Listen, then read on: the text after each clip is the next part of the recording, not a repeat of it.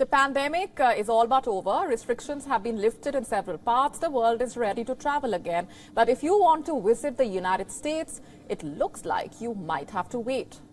For now, you could put your American dream on hold till 2024. Why do I say that? Because as of the 28th of September, the waiting time for a visa appointment in New Delhi is 833 days. You heard that right. That's almost a two year long wait for a visa appointment. The situation isn't any better across the country. In all five US consulates, the average waiting time was 1.5 years. In New Delhi, as we said, the waiting time is 833 days. In the financial hub Mumbai, it is 848 days. Kolkata has a waiting time of 767 days. Chennai, 780 days. Even in Hyderabad, which has the lowest waiting time, it shows 582 days. The student visa waiting time is the same story. If you want a student visa appointment, you will still have to wait for around 400 days. So why is the US visa crunch so bad right now? There are two main reasons for this. One, the pandemic disruptions. Washington halted almost all visa processing worldwide in 2020. In embassies, there was also reduced staffing. So clearly the visas piled up. Two, the demand is very high. Indians are eager to travel. Many of them want to head to the US. So there is a huge demand for visas right now. Now, how does this waiting time compare to other countries? In Shanghai, the waiting time for an appointment is two days. Let that sink in. In India, it is 833 days, while in China, just two days. And there are three reasons for this. One is the lower demand. Two, the growing animosity between Washington and Beijing. And three, zero COVID policies. But you have to admit the difference is staggering. In fact, the issue was raised in the recent Blinken Jaishankar meeting. The US Secretary of State pledged action to address India's concerns. We have a plan when it comes to India to address the backlog of visas that's built up. I think you'll see that play out in the coming months, but it's something that we're very focused on. These connections, these people to people ties, whether it's students, whether it's um, uh, business people, uh, whether it's uh, tourists, whether it's family, this is what really links us together. And the last thing we want to do is make that any more difficult. On the contrary, we want to facilitate it. So bear with us. Uh, this will play out over the next few months, but we're very focused on it. Bear with us is what Blinken says. He mentions a plan but reveals no details about it. After meeting Blinken, Jaishankar offered to help the US in clearing the backlog.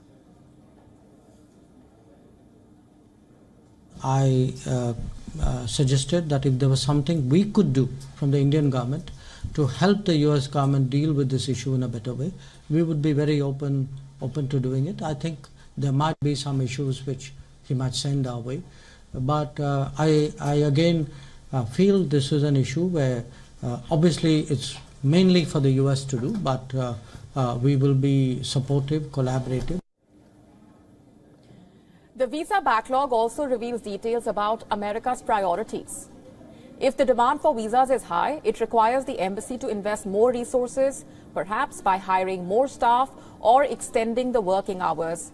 And remember, we are talking about a close strategic partner here. In fact, this goes beyond just visas.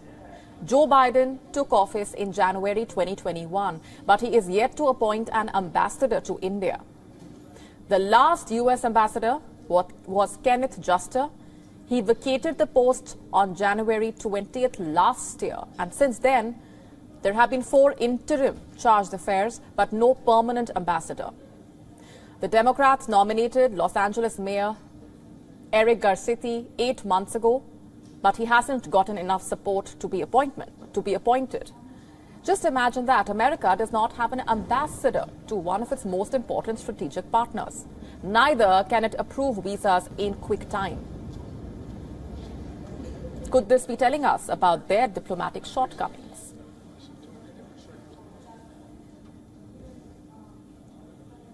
For more on this, our principal di diplomatic correspondent Siddhant Sibal getting us this report from New Delhi. Well, this is a story of inconvenience uh, for many Indian nationals who have to wait uh, for a long time uh, to travel to United States. Uh, the number stands at almost two years uh, or 833 days for Indian nationals uh, to go as visitors to United States and uh, for students almost uh, around 400 days more than 400 days. And this is a segment that is majorly impacted. Uh, uh remember that uh, there are a lot of indian nationals and students who have been traveling regularly to united states. But because of the covid pandemic the restrictions that were put in place uh, and the backlog that was generated that led to the crisis uh, which we are facing uh, right now. Of course, this is not, India specific.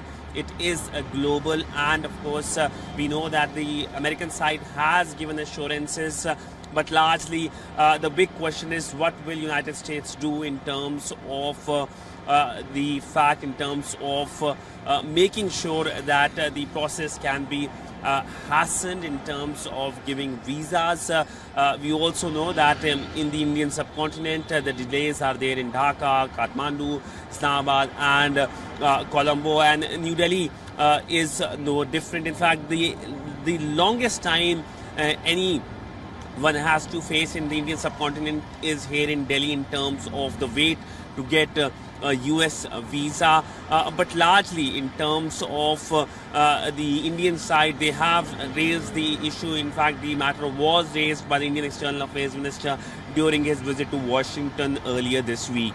With video journalist Neeraj Patel, Siddhant Sibal for WION in New Delhi. WION now available in your country. Download the app now. Get all the news on the move.